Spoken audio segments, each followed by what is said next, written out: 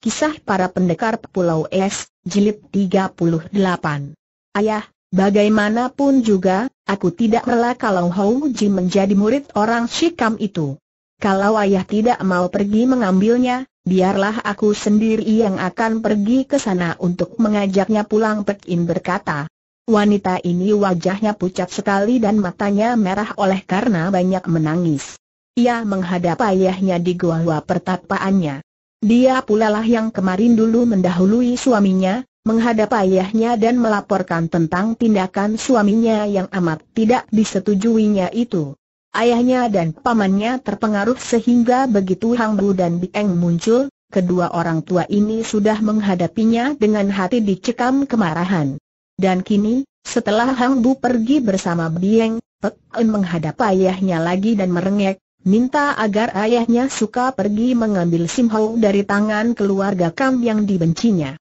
Baiklah, memang aku sendiri pun berpikir bahwa Sim Ho harus diajak pulang. Kami ingin menggemblengnya dan kelaknya akan menjadi seorang yang lebih lihai daripada ayahnya.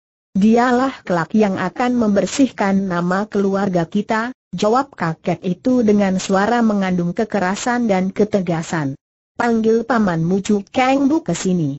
Ketika Chu Kang Bu datang menghadap kedua orang kakaknya, Chu Han Bu berkata bahwa dia dan Chu Seng Bu hendak pergi menyusul Sim Ho dan mengajak pulang anak itu, dan dia memesan agar Chu Kang Bu menjaga lembah baik-baik.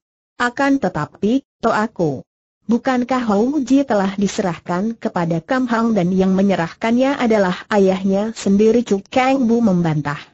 Saudara termuda keluarga Chu ini maklum bahwa kepergian kakaknya itu berarti hanya akan memperdalam permusuhannya dengan keluarga Kam saja. Akan tetapi, aku adalah ibu kandungnya, Paman. Aku berhak memintanya kembali dan dalam hal ini aku diwakili ayah. Sebagai kakeknya, ayah berhak mewakili aku untuk minta kembali Hou Jipet In berseru dengan nada suara penuh kemarahan. Ia pun tahu bahwa watak paman ketiga ini lain, dan dalam banyak hal, Cuk Kang Bu condong kepada suaminya. Cuk Kang Bu menggerakkan kedua pundaknya. Terserah kepadamu. Sebagai ibunya tentu saja engkau berhak mengaturnya. Akan tetapi kalau yang menyerahkan ayahnya, dan yang meminta ibunya, hal itu sama saja dengan membuka borok di muka umum, membuat orang mengerti bahwa ada ketidakcocokan antara suami istri, kata Cuk Kang Bu. Sudahlah, T. Kami sendiri tidak mempersoalkan itu, yang kami ingat hanyalah bahwa kalau kita menyerahkan Hou Ji kepada keluarga Kam, sama saja artinya bahwa kita telah merasa jari dan merasa tidak mampu menandinginya. Penyerahan Hou Ji sama saja dengan tanda takluk. Karena itulah maka aku dan Cite akan pergi ke sana untuk memintanya kembali. Chu Kang Bu tidak dapat membantah, hanya merasa prihatin sekali ketika kedua orang kakaknya berangkat meninggalkan lembah naga siluman untuk pergi menyusul Sim Ho dan mengajak anak itu kembali ke lembah. Dia dapat menduga bahwa tentu akan terjadi ketegangan di sana. Dia hanya mengharapkan saja agar kedua orang kakaknya yang sudah belasan tahun bertapa dan berlatih sulian itu sekarang sudah memiliki cukup kesabaran untuk menjauhkan pertikaian baru. Dua orang tokoh lembah naga siluman itu melakukan perjalanan secepatnya. Mereka memiliki cukup bekal untuk membeli kuda yang baik dan melakukan perjalanan dengan membalapkan kuda mereka, ditukar di setiap tempat setelah kuda mereka kelelahan. Karena mereka hanya merupakan dua orang laki-laki setengah tua berpakaian pendeta, maka tidak ada gangguan di perjalanan dan akhirnya, pada suatu siang, Tibalah mereka di puncak Bukit Nelayan, di sebelah selatan kota Paoting. Mereka langsung mendaki bukit itu dengan jalan kaki, meninggalkan kuda mereka di dusun sebelah bawah dan ketika mereka tiba di gedung tua tempat tinggal keluarga Kam, kebetulan sekali saat itu Kam Hang dan istrinya sedang melihat murid mereka berlatih silat yang baru pada taraf gerakan dan geseran kaki membentuk dan merubah kuda-kuda yang dipergunakan dalam Kim Xiao Kiam Sut.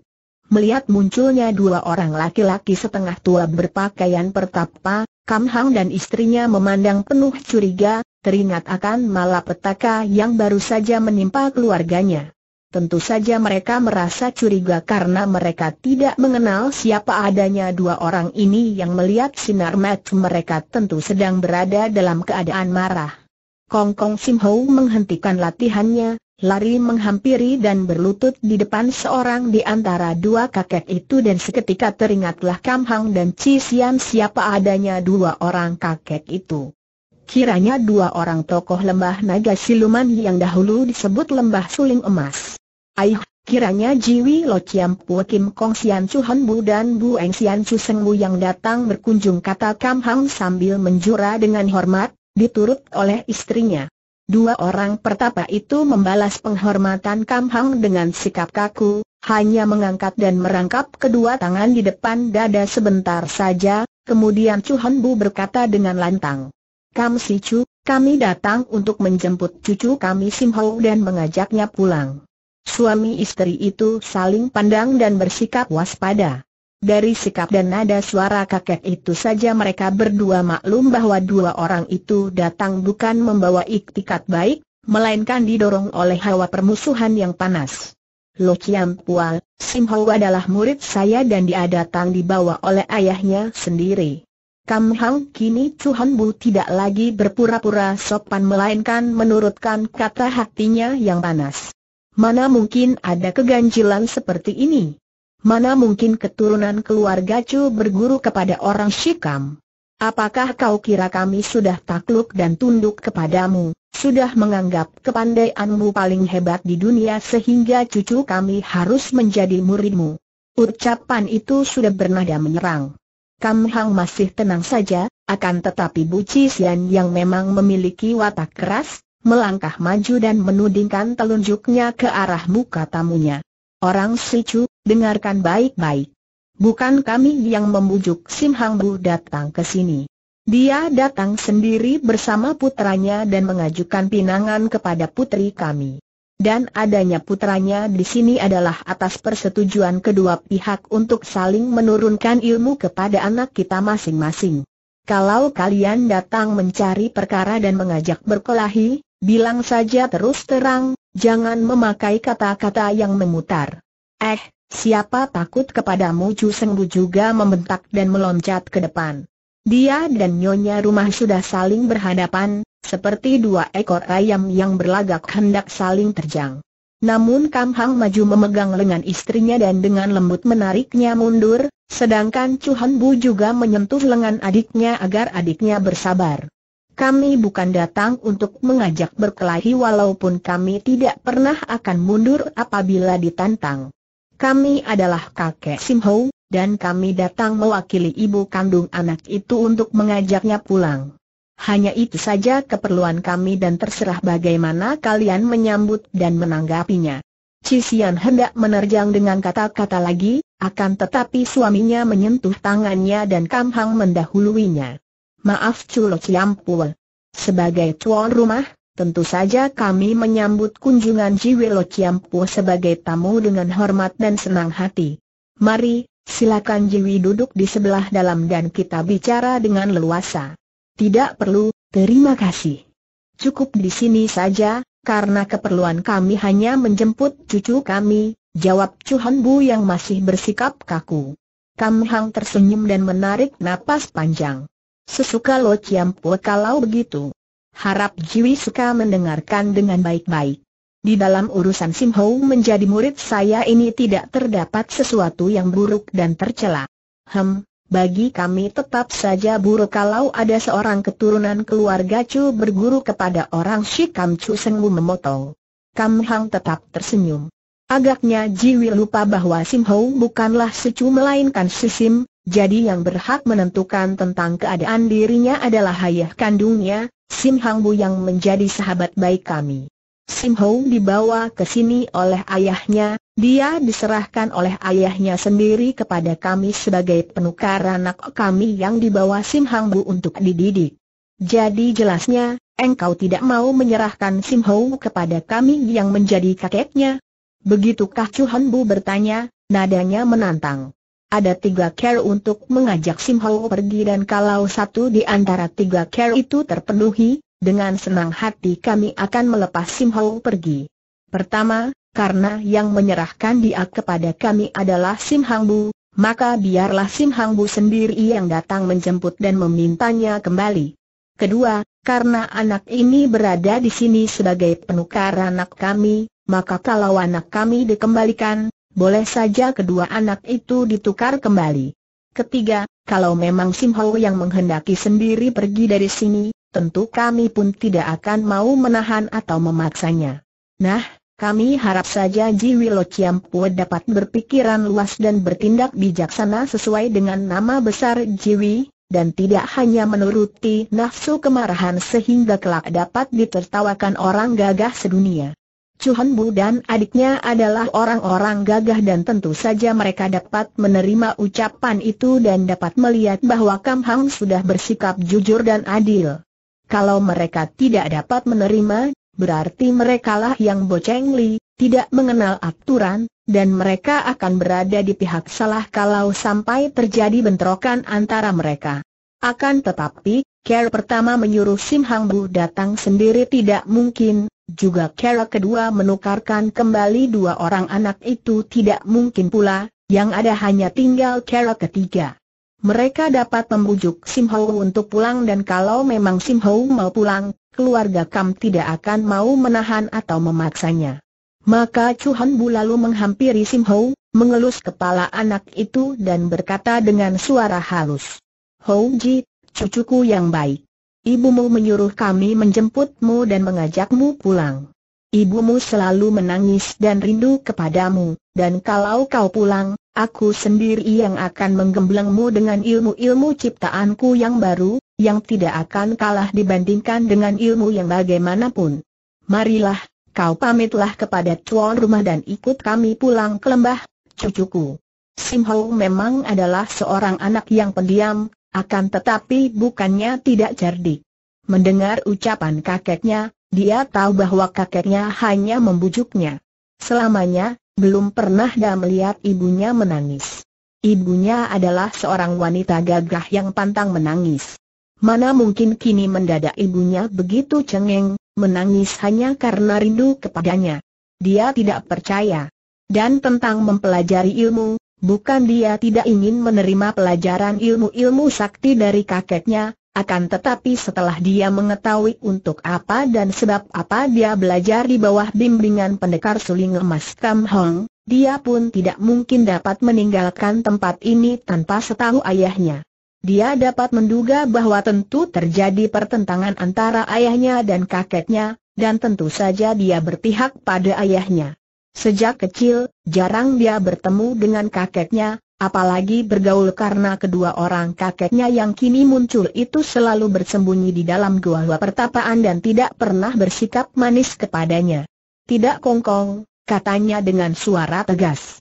Aku tidak mau pulang dan akan tetap tinggal di sini. Wajah Chuhan Bu menjadi merah. Anak bandel. Berani engkau membantah perintah kakekmu? Kongkong, aku tidak berani melanggar perintah ayah. Aku akan tetap berada di sini sampai ayah datang menjemputku. Harap Kongkong maafkan kata pula Sim Ho dengan suara tegas. Kakek itu marah sekali, bukan marah karena penolakan cucunya, tetapi marah karena kembali dia merasa dikalahkan oleh Kam Hong. Jari-jari kedua tangannya meregang dan melihat ini, Kam Hong sudah siap-siap untuk melindungi muridnya. Tiba-tiba Chuhan Bu memutar tubuhnya, kedua tangannya bergerak ke arah dua batang pohon yang tadi berada di belakangnya. Mereka memang berada di dalam kebun di mana Kam Hang melatih muridnya. Ciut, ciut, berak. Dua batang pohon itu tumbang dan runtuh, mengeluarkan suara hiruk pikuk. Inilah satu di antara ilmu-ilmu baru ciptaan kedua orang kakek yang sakti itu. Diam-diam Kam Hang kagum sekali. Pukulan tadi memang hebat batang pohon yang kuat dan sebesar perut manusia itu sekali pukul remuk dan tumbang, apalagi badan manusia. Setelah merobohkan dua batang pohon untuk memuntahkan kedongkolan hatinya, Chuhan Bu lalu melangkah lebar pergi dari situ diikuti oleh adiknya. Kam Hang hanya memandang dengan sikap tenang, dan istrinya tersenyum, sementara itu Sim Ho memandang dengan mata terbelalak karena terkejut melihat ulah kakeknya tadi. Sim Ho, lihat betapa saktinya kakekmu. Sayang dia pemarah. Kesaktiannya boleh kau tiru, hasil daripada ketekunan, akan tetapi pemarahnya itu jangan kau tiru. Nah, mulai sekarang belajarlah dan berlatihlah dengan tekun agar kelak tidak mengecewakan keluargamu, juga kakek-kakekmu itu. Mulai hari itu, Kam Hang menggembleng muridnya lebih tekun lagi dan pemuda remaja itu pun mengimbangi ketekunan gurunya dengan berlatih setiap ada kesempatan. Terjadilah perlombaan antara Kam Hang dan Sim Hang Bu dalam melatih murid masing-masing, seperti juga perlombaan antara keluarga Kam dan keluarga Chu. Akan tetapi bentuk perlombaan antara kedua orang pendekar sekali ini adalah perlombaan yang sehat, yang dapat membawa kemajuan kepada kedua pihak. Senja itu cerah akan tetapi tidak mampu menjernihkan batin orang-orang yang sedang melakukan perbuatan jahat itu. Senja yang cerah dan tadinya hening itu kini dikotori oleh teriakan-teriakan, tawa bergelak, dan jerit tangis. Segerombolan orang laki-laki yang rata-rata bersikap kasar, dipimpin oleh seorang laki-laki berusia 40 tahun yang berkumis lebat sedang menyerbu dua rumah yang agak terpencil di luar dusun pada sore hari itu. Pihak tuan rumah mengadakan perlawanan yang sia-sia, karena beberapa orang pria dari dua keluarga itu dalam waktu singkat saja sudah rohoh bermandi darah terkena bacokan dan tusukan golok gerombolan perampok itu. Kemudian, kepala gerombolan muncul dari rumah sebelah kiri, tertawa-tawa dan kedua lengannya yang berbulu dan besar-besar itu mengempit tubuh dua orang wanita dusun yang cukup cantik. Dua orang wanita itu menjerit dan meronta-ronta, namun mereka sama sekali tidak berdaya dan tidak mampu melepaskan diri dari rangkulan kedua lengan yang kekar itu. Para anak buahnya bersorak dan tertawa-tawa ketika melihat pemimpin mereka menawan dua orang wanita itu dan teriakan-teriakan yang bernada kotor dan cabul terlontar dari mulut mereka. Di balik sebatang pohon besar, seorang pria muda mengintai semua peristiwa itu sejak tadi. Pria itu berusia kurang lebih 25 tahun, tubuhnya agak pendek namun tegap, mukanya putih dan matanya bersinar-sinar, pakaiannya mewah. Dia seorang pesolek muda yang cukup tampan dan yang sejak tadi mengintai dan diam-diam menjadi penonton ketika gerombolan perampok itu menjalankan aksi mereka merampok dua rumah yang terpencil itu. Rumah itu milik dua keluarga yang terhitung kaya di daerah itu, maka kini para anak buah perampok dengan gembira mengangkuti peti-peti berisi pakaian dan harta benda mereka. Ketika kepala perampok itu merangkul dua orang wanita muda yang meronta-ronta sehingga kaki seorang di antara dua orang wanita itu nampak keluar sampai ke atas lutut, pemuda pesolek itu memandang penuh gairah sambil menggumam, hem, lumayan untuk hiburan malam ini. Kini para perampok keluar membawa peti-peti harta dan melihat ini, kembali pemuda pesolek itu menggumam, lumayan untuk penambah bekal. Dia sudah membayangkan betapa malam ini dia akan menghibur diri bersenang-senang menggumuli salah seorang atau mungkin keduanya dari wanita itu, dan menambah isi buntalan pakaiannya dengan emas permata dari dalam peti itu. Orang muda ini adalah Long Tek Chiang. Seperti telah kita ketahui, putra mendiang Long Kau Su ini berhasil menipu keluarga Sumakian Li. Bukan hanya diambil murid dan mewarisi ilmu-ilmu Pulau Es, bahkan juga diambil mantu dan dia bahkan telah berhasil memperkosa putri pendekar Pulau Es itu.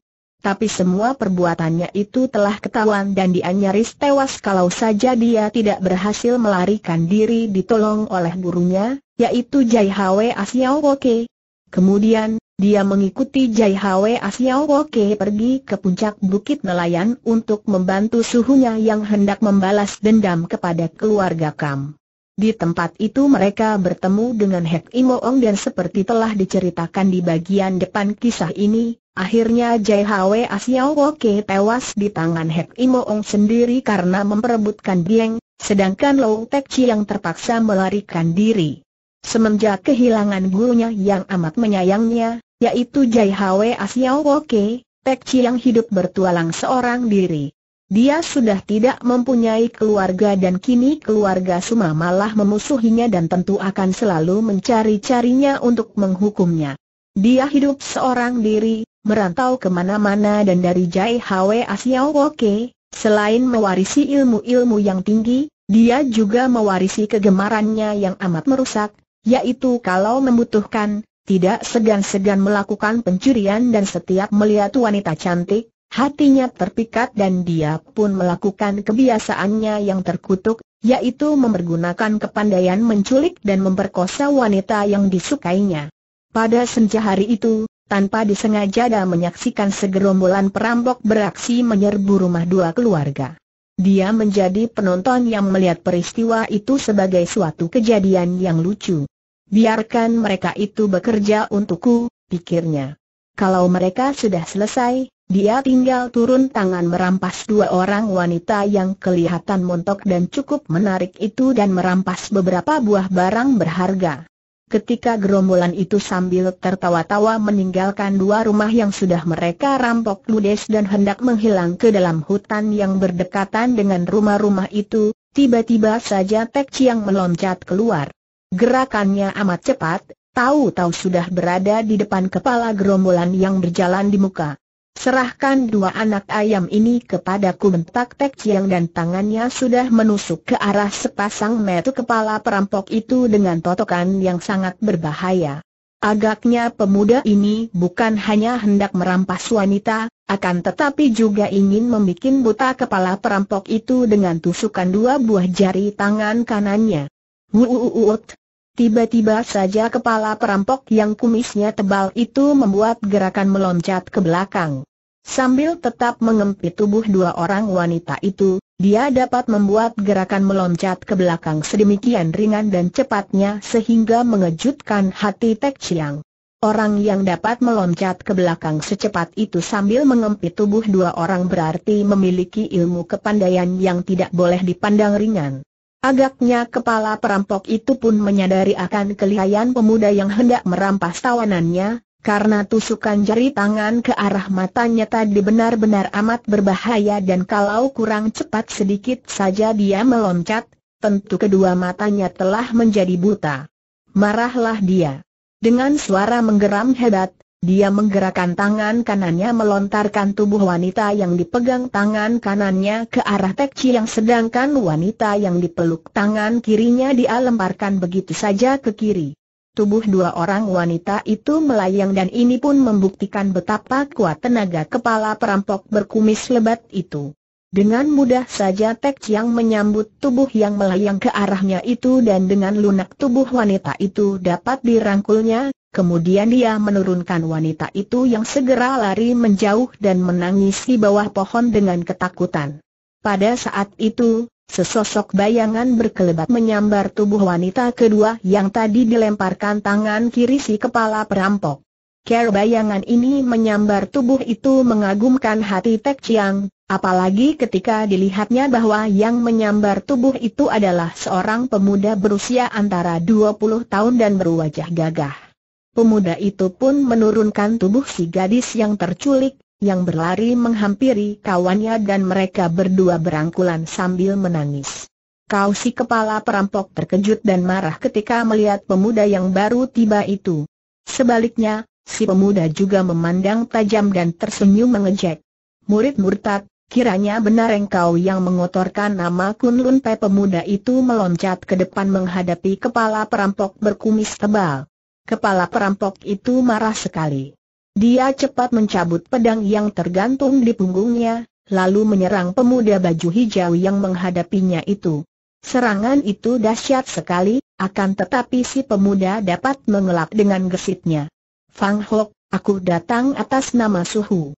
Menyerahlah daripada harus kuakili Suhu membunuhmu pemuda baju hijau itu masih mencoba untuk mengajak damai. Akan tetapi lawannya mendengus dan pedangnya berkelebat semakin dahsyat menyerang. Singa. Pemuda baju hijau itu mengelak sambil mencabut pedangnya dan sekarang terjadilah pertandingan yang amat seru dan menarik. Tek Chiang berdiri menonton dengan hati kagum. Tidak disangkanya bahwa kepala perampok itu ternyata memiliki kepandaian yang hebat, ilmu pedangnya juga dahsyat. Akan tetapi pemuda baju hijau itu pun ternyata memiliki ilmu pedang yang sama gerakannya, bahkan lebih mantap dan lebih cepat. dia dapat menduga bahwa mereka itu tentulah saudara seperguruan dan melihat kelihayan pemuda baju hijau itu, Pek Chiang mengambil keputusan lain. Melihat betapa belasan orang perampok itu kini telah mencabut senjata dan bersikap hendak mengeroyok, dia pun menerjang ke depan. Perampok-perampok hina, kalian hanya mengotorkan dunia saja bentaknya dan sebagai seorang pendekar tulen, dia pun lalu menghadapi pengeroyokan belasan orang perampok itu dengan tangan kosong saja. Memang sukar mengatakan bahwa Tek Chi yang seorang penjahat, walaupun dia jauh daripada seorang pendekar. Dia tidak pernah melakukan kejahatan secara berterang. Kalau sekali waktu dia mencuri uang, Hal itu dilakukan karena dia membutuhkan untuk bekal perjalanan, dan dia selalu tidak pernah meninggalkan jejak. Demikian pula kalau dia menculik dan memperkosa wanita, dia melakukannya tanpa ada yang melihatnya dan untuk menghilangkan jejaknya, bukan jarang dia membunuh wanita yang sudah dipermainkannya sampai puas itu. Akan tetapi, hal ini bukan berarti bahwa dia suka berhubungan atau berdekatan dengan kaum penjahat. Bahkan tidak jarang dia menentang kalau terjadi kejahatan, bukan karena tergerak hatinya menentang kejahatan itu sendiri, melainkan karena dia ingin mencari kepuasan dengan anggapan sendiri bahwa dia adalah seorang pendekar. Bagaimanapun juga, dia adalah seorang keluarga pendekar sakti Suma, keturunan para pendekar Pulau Es. Kecondongan untuk mencari nama dan kehormatan bukan hanya merupakan penyakit yang diderita Long Tek Chiang ini. Keinginan agar dianggap sebagai seorang baik, orang pandai dan yang serba menonjol merupakan penyakit kita semua, walaupun kadang-kadang sifat itu kita lakukan di luar kesadaran kita sendiri. Kita sukar menghentikan perbuatan-perbuatan buruk yang sudah menjadi kebiasaan, kebiasaan-kebiasaan buruk yang sesungguhnya menjadi care untuk mencari atau mencapai kesenangan. Akan tetapi di samping itu, ada hasrat dalam batin kita untuk dianggap sebagai orang baik tanpa cacat. Inilah sebabnya mengapa para koruptor condong untuk menjadi penderma paling royal. Bahkan orang yang dianggap paling jahat sekalipun, di lubuk hatinya merindukan kehormatan dan nama baik ini. Maka terjadilah konflik dalam batin antara kenyataan yang ada dengan keinginan yang kita dambakan. Kalau saja pelaku kejahatan mengakui kejahatannya lahir batin, maka kehidupan dan dunia ini agaknya akan menjadi berbeda. Kita condong untuk membela perbuatan kita, memulasnya agar nampak tidak kotor, bahkan kita selalu mengingkari semua perbuatan buruk kita, hanya karena ingin memenuhi hasrat hati, yaitu ingin dianggap baik dan terhormat itulah. Maka timbullah kepura-puraan, timbullah kemunafikan. Perbuatan yang oleh umum dianggap baik bagaimanapun juga, kalau hal itu dilakukan karena ada pamrih ingin dianggap baik, maka perbuatan itu adalah suatu hal yang kotor dan palsu, yang munafik dan karenanya jelas tidak baik lagi. Perbuatan baik adalah perbuatan yang sama sekali tak dinilai oleh pelakunya, perbuatan yang wajar, perbuatan yang dilakukan dengan dasar cinta kasih sehingga perbuatan itu tidak ada ujung pangkalnya, tidak ada sebab akibatnya, tidak terikat karma. Perbuatan berdasarkan cinta kasih adalah wajar, tidak melepas atau menanamkan budi, tidak menimbulkan dendam, tidak ditumpuk dalam ingatan, dan selesai sampai di saat itu saja.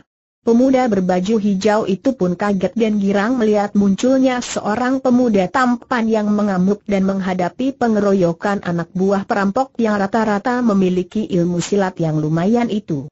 Dia pun kagum karena segera dapat melihat betapa lihainya pemuda bertangan kosong itu menghadapi para pengeroyoknya yang semuanya bersenjata. Perkelahian antara pemuda baju hijau itu sendiri melawan kepala perampok tidak berlangsung terlalu lama. Betapapun lihainya kepala perampok itu, menghadapi si pemuda baju hijau, dia kalah cepat dan kalah tinggi tingkatnya, kalah segala-galanya. Dalam waktu kurang dari 50 jurus, pedang di tangan pemuda baju hijau itu sudah menusuk leher lawannya yang roboh dan tewas seketika. Ketika pemuda itu menyimpan kembali pedangnya dan menoleh, dia melihat betapa belasan orang perampok itu semua sudah roboh dan tewas, sedangkan pemuda tampan itu sedikit pun tidak terluka, bahkan pakaiannya yang mewah itu sama sekali tidak kusut atau kotor. Pemuda itu sekarang berdiri memandang kepadanya sambil tersenyum. Ilmu pedangmu hebat sekali, sobat kata Tek Chiang memuji. Engkaulah yang berilmu tinggi sehingga dapat mengalahkan pengeroyokan para perampok dengan tangan kosong saja, pemuda baju hijau itu balas memuji. Tek yang tertawa, girang dan bangga karena dipuji. Ah, dibandingkan dengan ilmu pedangmu, apa artinya kepandaianku? Kalau tidak salah, ilmu pedangmu itu adalah ilmu pedang dari Kun Lun Pai, benarkah? Sudah lama aku mengagumi ilmu-ilmu silat Kun Lun Pai dan baru sekarang aku bertemu dengan seorang ahlinya. Perkenalkan, sobat, namaku adalah Long Tek Chiang. Tek Chiang memberi hormat yang cepat dibalas oleh pemuda itu. Engkau adalah penolongku, Long Toako dan terima kasih atas bantuanmu. Namaku adalah Pau Kuilok. Dugaanmu memang tepat karena aku adalah murid Kun Lun Pai, akan tetapi sama sekali bukan tokoh ahli. Para pembaca tentu masih ingat akan nama ini. Pemuda baju hijau itu adalah Pau Kuilok pemuda murid Kun Lun Pai yang pernah mencari Hek Imoong untuk membalaskan kematian gurunya, yaitu yang Ichin Jin yang dahulu tewas oleh Hek Imoong. Ah, Pau Laute, kalau orang yang sudah pandai ilmu pedang seperti engkau ini masih bukan ahli, lalu yang ahli yang bagaimana? Janganlah terlalu merendahkan diri. Akan tetapi, kalau tidak salah, kepala perampok itu mempunyai ilmu dari Kun Lun Pai pula. Benarkah? Benar, dia adalah seorang murid Kun Lun Pai yang murtad dan tersesat. Aku diutus oleh para pimpinan Kun Lun Pai untuk mencari dan menghukumnya. Dia cukup lihai dan anak buahnya juga rata-rata pandai ilmu silat. Untung ada engkau yang membantuku. Akan tetapi marilah kita antarkan dulu dua orang nona itu pulang dan membawa barang-barang rampasan itu kembali ke keluarga mereka, baru kita bicara dan mempererat perkenalan. Baik, kita harus menolong mereka tidak kepalang tanggung, berkata pula Tek Chiang dengan sikap gagah. Dua orang muda itu lalu menghampiri dua orang wanita yang masih berlutut menangis. Sudahlah, nona-nona, jangan menangis. Lihat, semua penjahat telah kami bunuh. Sekarang mari kami antar pulang dan kami bawakan barang-barang keluarga Nona yang dirampok, dengan sikap ramah Tek yang menghampiri mereka dan dua orang gadis itu pun menghentikan tangis mereka dan ketika mereka melihat bahwa semua penjahat telah tewas, keduanya menjatuhkan diri berlutut di depan Tek Chiang. Kami menghaturkan terima kasih atas budi pertolongan Tai Hiap. Tek Chiang tersenyum. Kebanggaan bagaikan hendak meledakkan dadanya. Kadang-kadang, kegembiraan yang timbul karena kebanggaan ini lebih nikmat daripada kalau dia memperkosa wanita. Ah, bukan hanya aku seorang yang turun tangan, Nona. Kami dua orang Sipo dan Shilo tidak akan membiarkan kejahatan merajalela di dunia ini, katanya dengan sikap orang yang berhati lapang dan pandai merendahkan hati. Dua orang muda itu lalu mengangkut semua barang rampokan, kemudian mengawal dua orang gadis itu kembali ke rumah mereka yang tadi dirampok. Dan di tempat itu mereka disambut ratap tangis, bukan hanya karena bersyukur melihat mereka pulang dengan selamat membawa semua barang yang dirampok, akan tetapi juga karena terlukanya para anggota keluarga laki-laki yang tadi melakukan perlawanan. Kuilok dan Tek yang tidak berlama-lama di tempat itu. Mereka segera meninggalkan keluarga itu tanpa memberi kesempatan mereka berterima kasih, sesuai dengan watak para pendekar yang tidak mengharapkan balas jasa atas pertolongan yang mereka berikan kepada orang-orang yang dilanda malapetaka. Demikianlah perkenalan yang terjadi antara dua orang muda itu. Ketika Pong Kuilok mendengar bahwa pemuda yang lihai itu adalah murid pendekar sakti Sumakian Li keluarga Pulau Es, kekagumannya bertambah dan dia pun mempersilakan Tek Chiang untuk singgah di Kunlun Pai cabang kota Tungkeng yang meliputi cabang perguruan silat ini di daerah tengah, di mana Kuilok kini tinggal bersama para Tosu yang menjadi pimpinan kuil Kunlun Pai cabang Tungkeng itu. Kui Lok ingin lebih mempererat persahabatannya dengan Tek Chiang karena sejak lama dia sudah mendengar tentang keluarga Pulau Es dan merasa kagum sekali. Juga para Tosu Kun Lun Pai merasa gembira sekali dan kagum ketika mendengar bahwa pemuda yang pesolek itu adalah murid keluarga Pulau Es. Tek Chiang telah tinggal di kuil itu selama tiga hari ketika pada pagi hari keempat, Hang Tan Tosu, ketua kuil itu, Seorang tosu tinggi kurus berusia 65 tahun, yang sejak pagi tadi keluar kuil, kembali membawa dua orang tamu. Dan dua orang tamu itu adalah Chu dan Chu Bu. Seperti kita ketahui, dua orang sakti dari lembah naga siluman ini baru saja kembali dari puncak bukit nelayan di mana mereka menanggung kecewa dan malu karena tidak berhasil membawa pulang cucu mereka, Sim Ho, dengan hati kesal mereka menuju pulang dan di kota Tungkeng mereka berdua bertemu dengan Hang Tan Tosu. Tosu Kun Lun Pai ini dahulu, ketika masih berada di Kun Lun San, pernah bertemu di lembah keluarga Chu sehingga dia mengenal baik keluarga Chu. Maka, ketika bertemu dengan dua orang sakti itu, dia merasa gembira sekali dan mempersilakan dua orang kenalannya itu untuk singgah di kuilnya. Chuhan Bu yang sedang kesal hatinya menerima undangan ini, maka mereka lalu mengikuti Hang Tan Tosu mengunjungi kuil Kun Lun Pai. Dan di sinilah dua orang tokoh lembah naga siluman itu bertemu dengan Pou Lok dan Lo Tek Chiang. Kebetulan sekali pada saat itu, ketika dua orang sakti memasuki kuil, mereka melihat dua orang pemuda itu sedang berlatih silat di dalam kebun di samping kuil.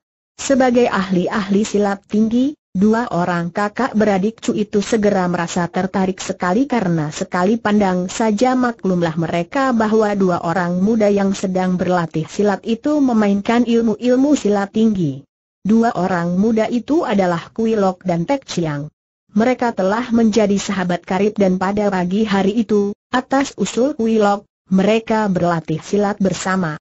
Melihat gerakan Kuilok, Dua orang tokoh lembah naga siluman itu mengenal ilmu silat Kun Lun Pai dan mereka kagum karena pemuda itu memiliki gerakan yang amat ringan dan kuat. Akan tetapi mereka terbelalak memandang dan memperhatikan gerakan Tek Chiang. Pemuda ini memainkan ilmu silat yang aneh dan hebat, apalagi ketika terasa oleh mereka betapa dari kedua tangan pemuda ini menyambar hawa yang berubah-ubah, kadang-kadang dingin kadang-kadang panas. Hang Tantosu yang menemani mereka, melihat kekaguman dua orang sakti itu, lalu berkata lirih. Orang-orang muda sekarang bertambah hebat saja, akan kalah kita yang tua-tua ini. Hang Tan Yeu, siapakah mereka ini? Tanya Chu Bu dengan hati tertarik. Yang berbaju hijau itu adalah Pau Kuilok, Sute Pinto sendiri dan dia memang sudah mencapai tingkat tertinggi di dalam perguruan kami dan yang kedua itu bukan orang sembarangan. Namanya Lou Tek Chiang. Dia adalah murid Sumakian Li, pendekar Pulau Es. Ah Chu Han Bu dan Chu Seng Bu menahan seruan mereka dan memandang kagum. Pantas saja pemuda itu demikian lihainya, tidak taunya murid pendekar Pulau Es. Pada waktu yang bersamaan, kakak beradik ini saling pandang dengan gejolak hati yang sama. Alangkah baiknya kalau mereka bisa menarik dua orang pemuda perkasa itu sebagai ahli waris baru mereka yang akan mewarisi ilmu-ilmu silat keluarga Chu dan kelak menjunjung tinggi nama keluarga Chu. Setelah mereka duduk di dalam, Chu Hon Bu langsung saja menyampaikan keinginan hatinya kepada sahabatnya. Tu Yeu, melihat gerakan dua orang muda itu, hati kami jadi sangat tertarik. Kebetulan sekali kami memang sedang mencari orang-orang yang agaknya tepat untuk mewarisi semua ilmu kami, yang lama maupun yang baru saja kami ciptakan, dan kami melihat bahwa dua orang muda itu agaknya tepat dan berjodoh sekali. Bagaimana pendapatmu andai kata kami mengajak mereka ke lembah kami untuk menerima ilmu-ilmu silat keluarga kami? Mendengar ucapan ini, sejenak mata, Tosu itu terbelalak penuh keheranan. Dia sudah mengenal benar keluarga Chu ini yang selalu merahasiakan ilmu-ilmu mereka dan tidak akan menurunkan kepada orang luar, maka pernyataan tokoh nomor satu dari keluarga Chu itu tentu saja amat mengherankan hatinya. Dia pun sudah mendengar bahwa keluarga Chu tidak memiliki keturunan laki-laki, akan tetapi sudah mempunyai seorang mantu yang lihai sekali dan kabarnya mantu itu yang telah mewarisi ilmu-ilmu keluarga Chu. Kenapa sekarang mendadak Kim Kong Sian ini menyatakan hendak mewariskan ilmu-ilmu keluarga Chu kepada orang luar? Akan tetapi, wajahnya segera berseri gembira ketika teringat bahwa yang dipilih adalah sutenya sendiri. Ahaha, entah bintang apa yang menerangi nasib Sute dia berseru gembira. Tentu saja dua orang muda itu akan beruntung sekali kalau dapat terpilih menjadi murid-muridmu, Cutai Hiap. Biar Pince panggil mereka datang. Tosu itu sendiri segera bangkit dan meninggalkan dua orang tamunya untuk memanggil dua orang muda yang sedang berlatih silat di kebun. Setelah Tosu itu pergi, Chu Bu berkata kepada adiknya, Bagaimana pendapatmu, JT? Chu Sengbu mengangguk-angguk. Aku setuju sekali, to aku. Agaknya merekalah yang amat tepat menjadi ahli waris kita yang kelak akan menghadapi orang-orang yang hendak meremehkan nama kita. Apalagi mereka itu yang seorang adalah murid utama Kun Lun Pai dan yang kedua bahkan murid keluarga pendekar Pulau Es tepat sekali jawab adiknya. Keduanya diam-diam merasa girang sekali. Memang pilihan mereka tepat. Dengan mengangkat murid dua orang muda itu, sedikit banyak Kun Lun Pai dan keluarga Pulau Es akan berdiri di belakang mereka dan kalau sudah begitu, siapa berani meremehkan mereka? Tak lama kemudian, Hang Tantosu datang kembali ke dalam ruangan tamu diikuti dua orang muda yang tadi berlatih dan kini leher dan muka mereka masih basah berpeluh. Keduanya sudah mendengar secara singkat pemberitahuan Hang Tantosu bahwa dua orang sakti dari lembah naga siluman datang dan tertarik kepada mereka, dan mengambil keputusan untuk mewariskan ilmu-ilmu sakti dari lembah itu kepada mereka. Tentu saja dua orang itu terkejut dan heran juga, terutama Pou Kuilok yang sama sekali tidak pernah membayangkan akan berguru kepada orang lain kecuali Kun Lun Pai, akan tetapi diam-diam Long Tek Chiang merasa girang bukan main. Dia tahu bahwa dirinya mempunyai banyak sekali musuh-musuh yang sangat liai, terutama sekali keluarga Pulau Es, maka kalau dia dapat mengumpulkan ilmu-ilmu tinggi sebanyaknya, berarti tidak akan lebih mampu membela diri. Ahaha, Po Te, sungguh kita beruntung sekali katanya sambil memegang lengan Kuilok. Aku sudah mendengar nama besar keluarga Chu dari Himalaya itu, dan kalau kita dapat mewarisi ilmu-ilmu mereka, sungguh kita memperoleh keuntungan besar. Akan tetapi, Kuilok memandang kepada suhengnya dengan sinar mata ragu-ragu. Agaknya Hang Tantosu dapat menduga pikiran sutenya. Po Sute, jangan khawatir. Setiap orang murid Kunlun Pai memang dilarang berguru kepada orang lain, akan tetapi kalau sudah mendapat perkenan orang yang berhak, dan mengingat bahwa keluarga Chu adalah keluarga pendekar besar yang ku kenal baik, maka Pinto memberi perkenan kepadamu dan Pintolah yang akan bertanggung jawab kalau ada pertanyaan dari para suhu dan susiok. Tentu saja ucapan Hang Tantosu ini membesarkan hati Kuilok dan dengan girang mereka berdua lalu mengikuti Tosu itu ke ruangan tamu di mana telah menanti Chu Bu dan Chu Bu. Melihat dua orang setengah tua yang bersikap angker itu, Kuilok dan Tek Chiang cepat memberi hormat. Setelah kini berhadapan dengan Kuilok dan Tek Chiang, pandang macu kedua orang tokoh lembah naga siluman itu memandang penuh selidik dan mereka merasa puas dengan apa yang mereka lihat. Kedua orang muda itu jelas memiliki tubuh yang baik sekali dan juga memiliki sinar mata yang tajam dan cerdik. Calon-calon murid yang baik sekali, apalagi karena mereka telah memiliki dasar ilmu-ilmu silat yang tinggi pula. Dalam keadaan sekarang ini pun, mereka sendiri belum tentu akan dapat mengalahkan dua orang muda ini dengan mudah. Apalagi kalau dua orang muda ini sudah menguasai ilmu-ilmu silat keluarga Chu, tentu keduanya akan jauh lebih lihai daripada mereka sendiri dan akan dapat menjunjung nama kehormatan keluarga Chu dengan baiknya, jauh lebih baik daripada Sim Hang Bu yang murtad itu. Pou Kuilok dan Lo Tek Chiang, kata Chu Bu secara langsung setelah dua orang muda itu diajak berkenalan.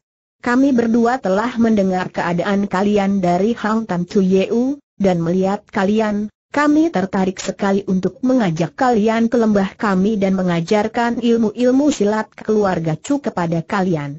Tentu saja kalau kalian sudi menjadi murid kami. Saya akan merasa gembira dan terhormat sekali, Lo Chiam Pua, kata Tek Chiang dengan cepat tanpa ragu-ragu lagi. Saya, saya juga merasa setuju kalau memperoleh perkenan dari Su Heng sebagai wakil para suhu di Kunlun Pai, kata Kuilok hati-hati. Hahaha, Sute. Pinto sudah memberi perkenan dan harap saja engkau sebagai murid Kunlun Pai tidak mengecewakan menerima ilmu-ilmu keluarga Chu yang amat tinggi itu. Chu Bu dan Chu Bu menjadi girang. Tak mereka sangka akan semudah itu mereka menerima murid-murid yang begini lihai.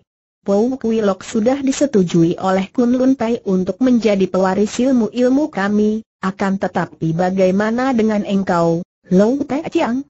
Kami mendengar bahwa engkau adalah murid pendekar Sumakian Li tokoh Pulau Es, apakah gurumu tidak akan marah dan berkeberatan kalau mendengar engkau belajar silat kepada kami? Hampir saja Tek Chiang tertawa. Gurunya akan berkeberatan. Gurunya sekarang telah menjadi musuh besarnya. Akan tetapi dengan cerdik dia memberi hormat dan berkata, Suhu telah memberi kebebasan kepada saya untuk memperluas pengetahuan dan mempelajari ilmu apa saja asal ilmu itu digunakan demi kebaikan, menentang kejahatan seperti layaknya seorang pendekar. Karena itulah maka saya berani menerima uluran tangan Lo Ciampul. Tentu saja hati kedua orang tokoh lembah naga siluman itu menjadi girang bukan main. Dua hari kemudian, Kuilok dan Tek Chiang berangkat mengikuti dua orang kakek itu ke lembah di pegunungan Himalaya itu.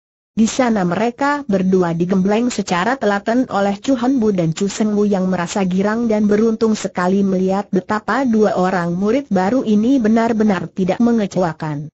Selain berbakat dan tekun, juga mereka adalah dua orang muda yang sudah memiliki ilmu silat tinggi, terutama sekali Tek Chiang benar-benar tidak mengecewakan.